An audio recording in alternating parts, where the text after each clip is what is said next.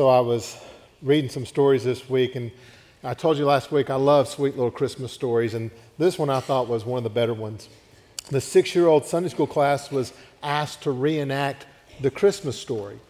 Yet this story, this time, the teacher said, I want you just to, just to do it as you understand it.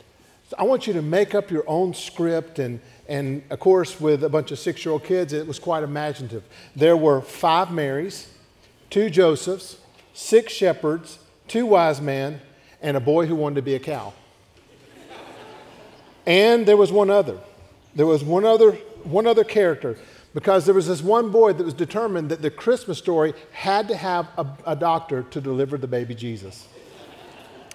And so as, the, as they began to act it out, because the, the, the teacher was just curious to see how this was going to play out, she was watching, and all of a sudden, this little boy who was the doctor walks over, picks up the baby Jesus, wraps him up in a blanket, and walks over to all the Marys and the Josephs and says, Congratulations, it's a God. Just love that story. Love that story. You know, this, the truth is, this, this little boy got it right. He got what so many adults miss, what so many people miss, and that is the incarnation. That God became flesh and made his dwelling among us. And that really is the heart of the Christmas story. That God stepped out of heaven into flesh to become the Savior of the world. God with us to die for us so that we, so that He might live in us. A great, great message. Well, we're three weeks into a four week series on, I'm going to steal this. Oh, you got me? There you go. Everybody give Rob a hand.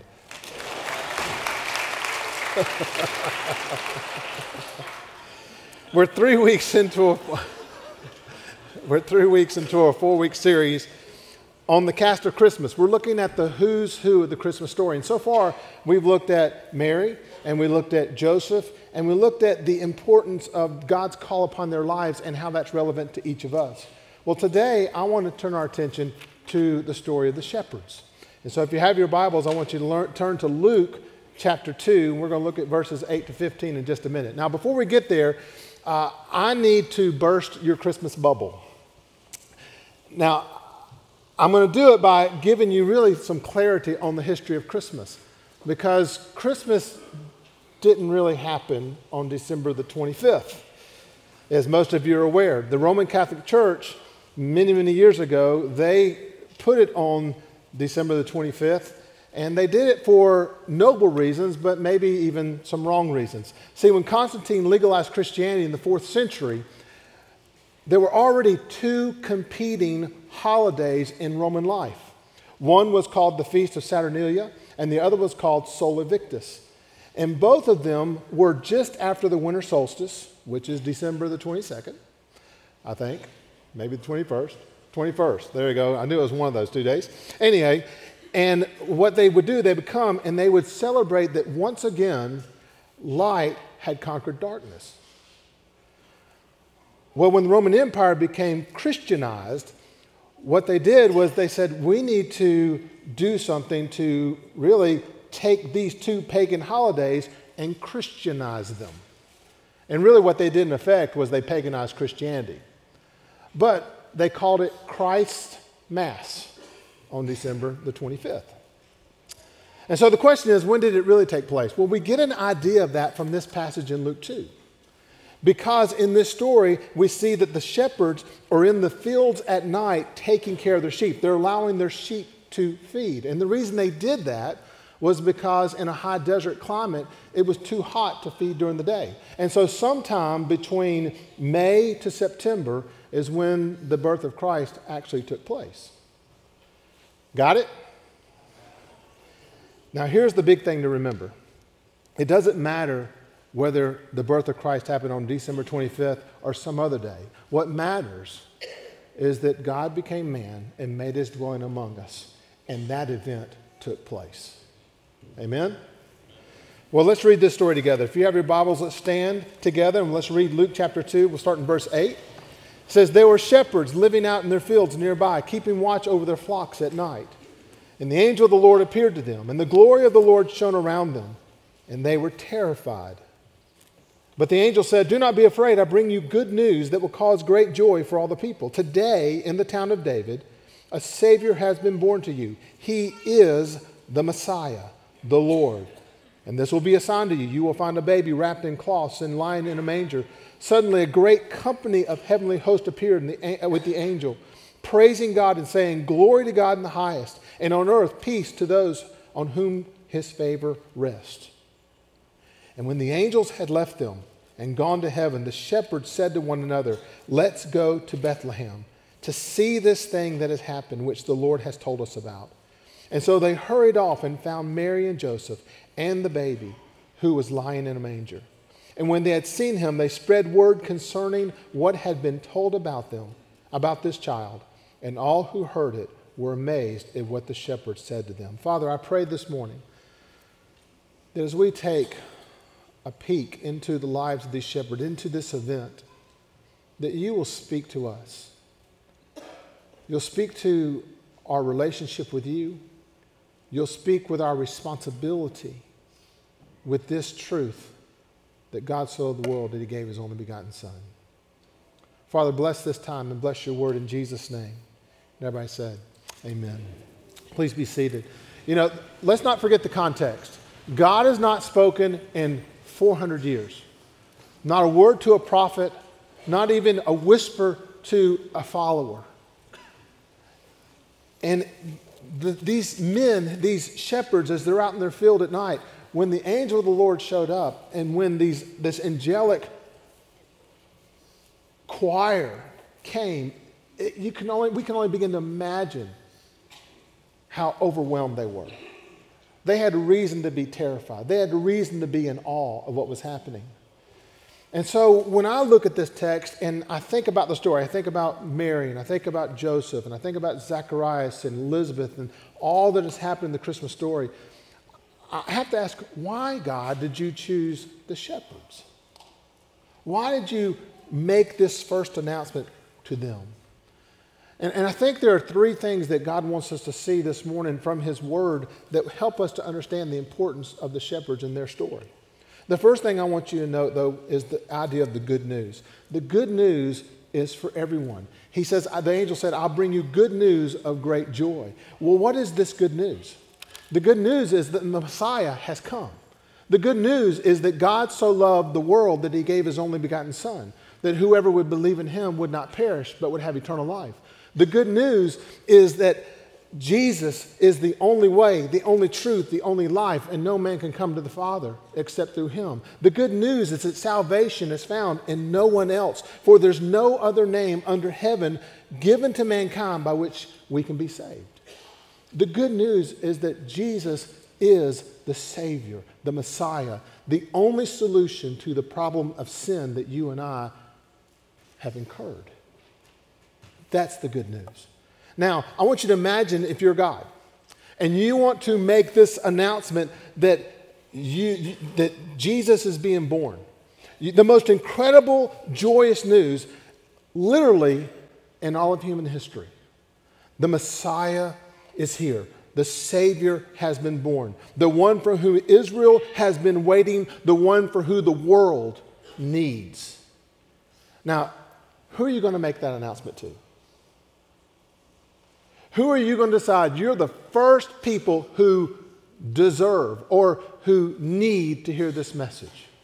Who do you choose? I find it interesting that on that night when Jesus was being born, God chose a group of sheep herders, shepherds. Why did he choose them? You know, for us in our society, we would choose the political leaders. We would choose uh, uh, princes and kings to come to make this announcement. We would choose scholars and military leaders. We would call, we would call people theologians, people that could verify it. But God chose a group of ragtag shepherds. You ever think about that? God chose the last group of people that anyone would have ever thought about to share the news of the birth of Christ. He didn't choose the high and mighty society, he chose the lowly and the least. He chose a group of ordinary men who were not the social or the religious elites, but the outcast and the blue collar. God brought the message of hope, the message of salvation. The first group of people he talked to about this were a group of minimum wage workers. That gives you a little bit of context. Did you know that according to the Talmud, that these men, this group of people called shepherds, that they were considered as being heathen because their job kept them away from the religious festivals and the religious feasts because they were taking care of the very sheep that were feeding the people, that were clothing the people, and that were being used as sacrifices because they were taking care. They could not come to the temple to worship. And because of that, they were considered heathen outcasts. They literally were set aside as being insignificant. Now, think about that. When everyone else was making their trip to Jerusalem annually to make a sacrifice or to come to the feast, and they needed that sacrifice, these guys were working and couldn't be there. Not only that, but because they were, they were not just religious outcasts, because they were social outcasts. I mean, they were dirty, they were stinky, they hung out with sheep 24 7, 365. They probably didn't bathe once a month. They were looked down upon. They were seen as being suspicious. They were very much seen like gypsies or like the homeless are seen today in our culture. They were not very well recognized. In fact, if there was ever a question of, hey, something's missing, guess who got blamed? The shepherds. And this is the group of people.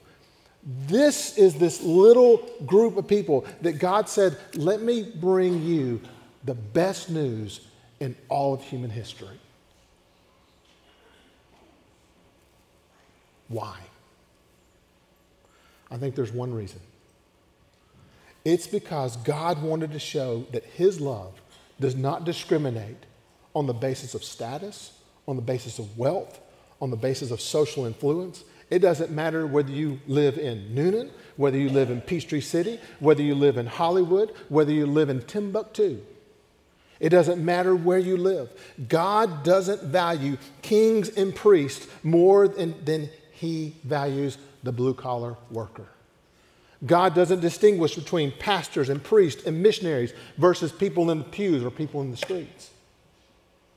What I think it teaches us is that Jesus is an equal opportunity Savior, and the good news is for all the world. It doesn't matter whether you're Muslim, it doesn't matter whether you're Hindu, it doesn't matter whether you're atheist, it doesn't matter whether you're a Baptist.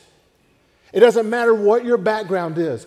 The gospel, the good news, is for everyone, for everyone who will believe.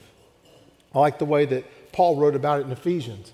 He says, In him we have redemption through his blood, the forgiveness of sin. Jesus is God's only means, his only means for the forgiveness of our sin. The gospel, the good news, is for everyone. The second thing I want you to see is that the good news requires a faith response. It requires that we believe. Look what he says back in this text. He says, When the angels had left them and gone into heaven, the shepherds and said to one another, Let's go to Bethlehem and see this thing that has happened to us. Their response is so incredible. After hearing the message, after regaining their composure because they had just been blown away by these angels. After regaining their composure, they packed up everything and headed for Bethlehem. And this decision, this response, altered their eternity. It altered the rest of their lives. See, that's what the gospel does. That's what the good news does. When we receive it, it changes our earthly life and it changes our eternal life. If your earthly life has not been changed by the good news, then I question whether or not you have ever received this good news. Paul said it this way If any man be in Christ, he is a new creation. The old is gone. Behold, all things become new. All things. There's a new desire, there's a new passion, there's a new focus, there's a new hope because God is transforming your life from the inside out. Look what they did. See, they could have doubted. They could have said, you know what, did this really happen? Did, we, did someone put something in our tea that we're drinking? Did we just hallucinate this? They could have doubted that what they had just experienced happened. And the truth is, there are people today that believe the gospel, the good news, that God so loved the world that he stepped into this world to become our Savior as the only means, the only mechanism for the solution of sin. There are people that believe that's too far fetched. They doubt it. But they didn't.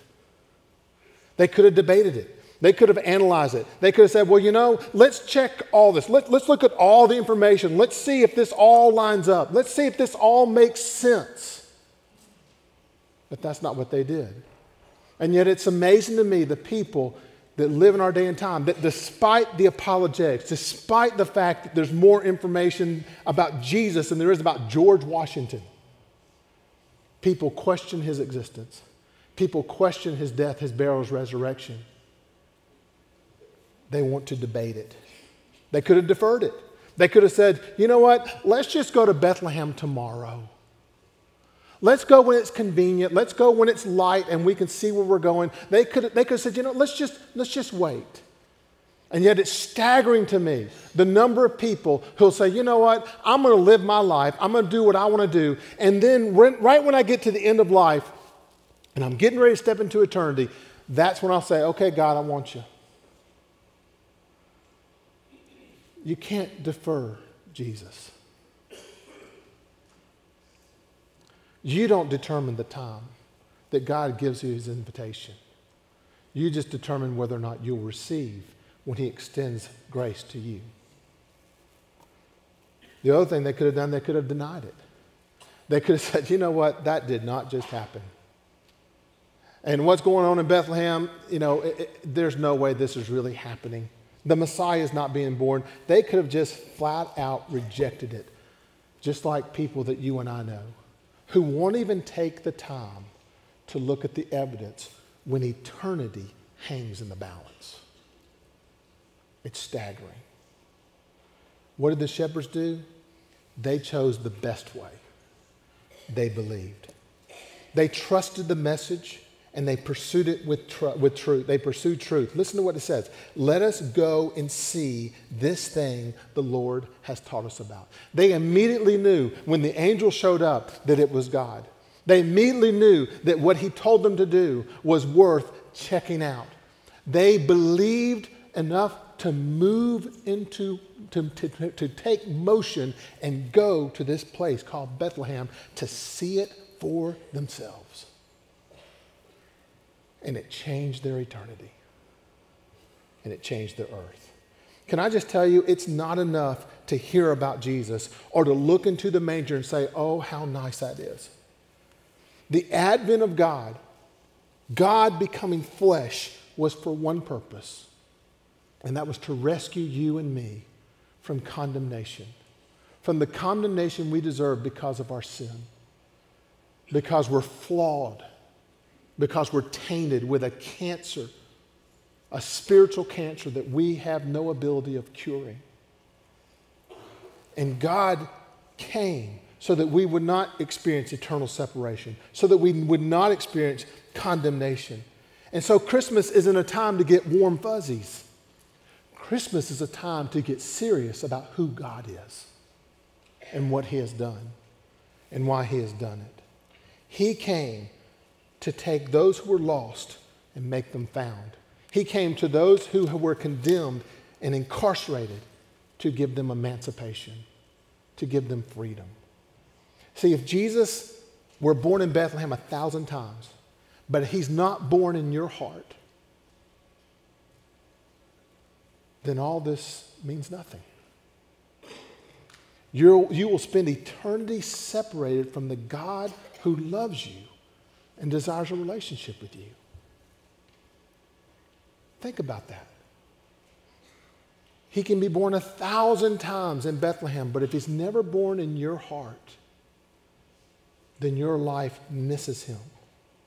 So matter how, no matter how sentimental you get about Christmas, no matter how sentimental you get about this Christ child that was born on that holy night, if you and I do not receive this gift, then we miss the whole message and the whole meaning of Christmas.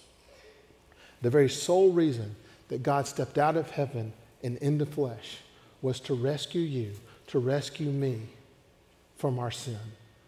Jesus said it this way in Luke For the Son of Man has come to seek and to save the lost. He came for you, He came for me. And so, this good news, it must be received by faith, just like it was with the shepherds. And then there's a third point, third thing I want you to see, and that is the good news must be shared with everyone. The good news must be shared with everyone. Look at this. He says, When they had seen him, they spread the word concerning what had been done, what had been told to them about this child, and all who heard it were amazed at what the shepherds said to them. Let me ask you a question. What do you do with good news? Your child gets engaged. I assume that's good news. Um, your child gets engaged. What do you do? You tell everybody. You get a new job. What do you do? You tell everybody. Your children do something spectacular. I don't know about you. I tell everybody because I'm proud, I'm excited. That's what you do with good news. You share it. You tell everyone. And that's what, that's what the shepherds did. They found this good news and they let everybody know what this good news was.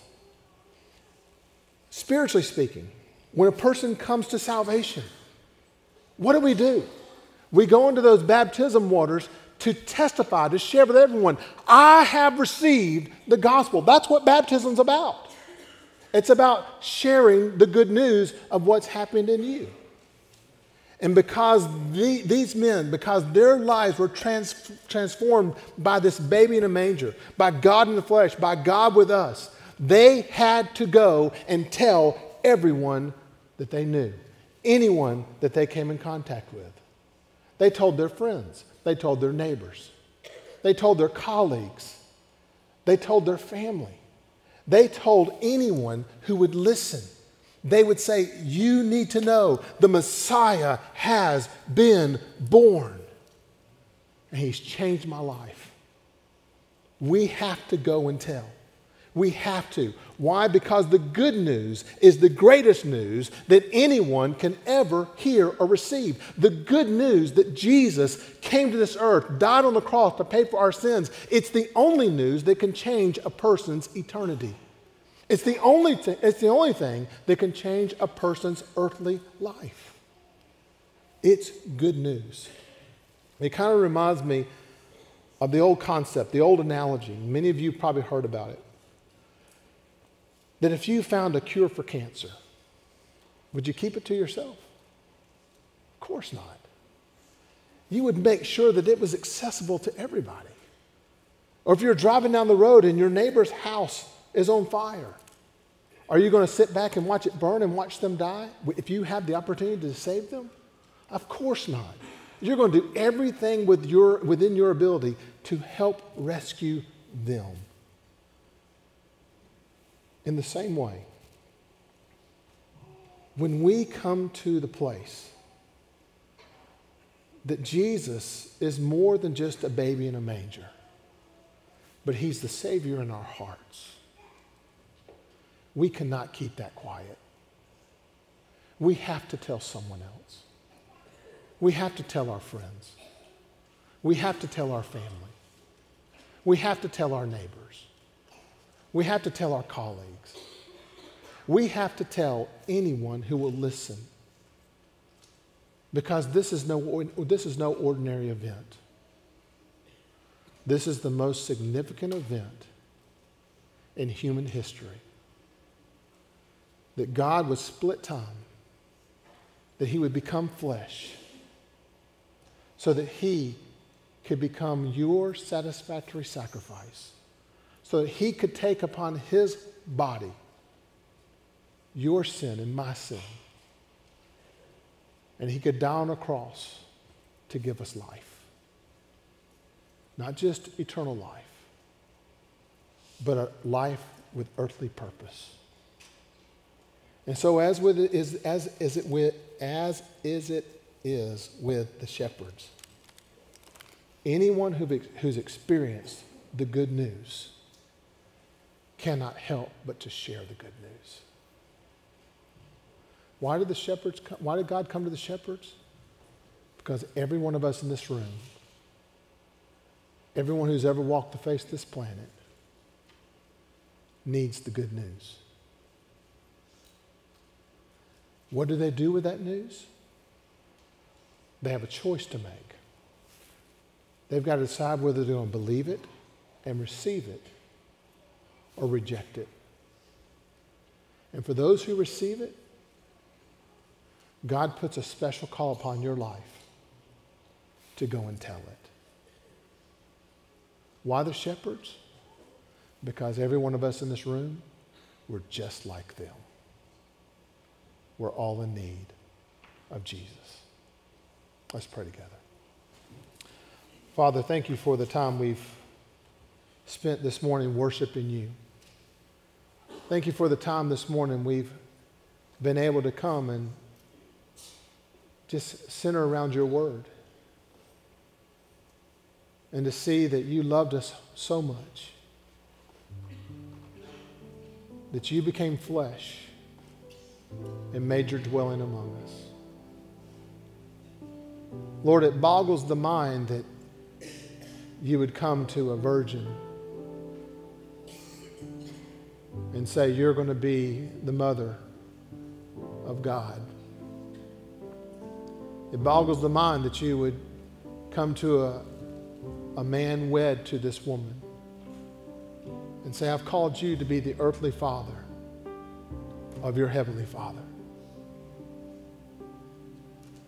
And Lord, it even stirs our hearts to know that you would come to a group of men just like us. Not the elite, but the common. And you'd reveal the message that you so loved each and every one of us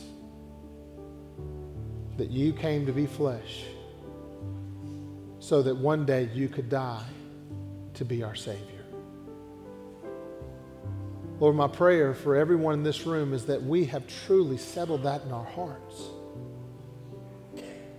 That we don't just look into the manger and say, How sweet, how nice. But we look into the manger and we see the greatest love the greatest gift, the greatest hope that can meet our greatest need. And we would receive by faith, we would say, I believe that this baby will be the one who dies to be my Savior. And we'll accept this gift Lord, if there's anyone here today who's never done that, if there's anyone here today that right now your spirit is speaking to them, communicating, convicting, inviting them to unwrap this gift of grace and this gift of love, I pray, Father, right where they are, that they would simply pray. And if that's you today, I just want to invite you to pray something like this Say, God, I know you're speaking to me. And I really understand for the first time today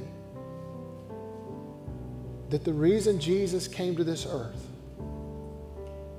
was to be my Savior. And right now, the best I understand, I believe. And I would like to invite you to be my Savior and Lord. Now help me to live this life called the Christian life in such a way that honors you. Not in my power, but in your power. Thank you for dying for me. Thank you for coming for me. If you did that today, I want to ask you to do one of two things. Actually, I want you to ask you to do three things. One, either when we have our invitation, just a second, if you'll come down and allow us to meet you and pray for you. If, that, if that's something that you just feel like is too overwhelming, in the bulletin you came in, when you came in, if you'll just take that, put your name, put an email or, or an address, phone number, and then check that little box that says, Today I invited Jesus to be my Savior. And when you leave today, you can leave it in your seat or you can drop it in one of the brown boxes as you're exiting. It allows us a chance to pray for you, to communicate with you about this decision you've made today.